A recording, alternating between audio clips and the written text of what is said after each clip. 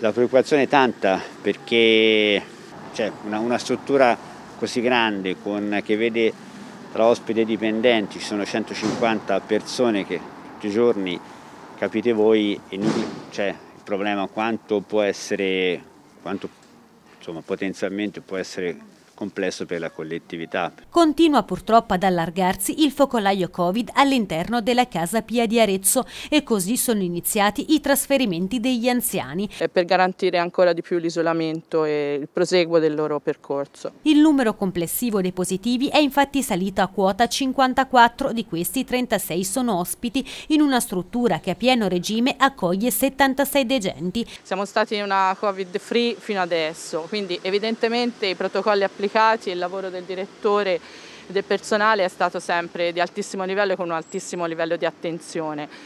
Purtroppo è un evento che non potevamo prevedere e che non potevamo gestire meglio di così. Gli anziani positivi erano stati immediatamente isolati in un settore della casa di riposo dedicato al Covid e presi in carico dalle unità speciali di continuità assistenziale. Adesso sono scattate le procedure per il trasferimento degli anziani nelle strutture di cure intermedie della ASL, operazioni che termineranno nella giornata di mercoledì. Noi non siamo una RSA Covid, ovviamente nel protocollo era previsto comunque un, un inizio di isolamento per i casi che avremmo potuto avere.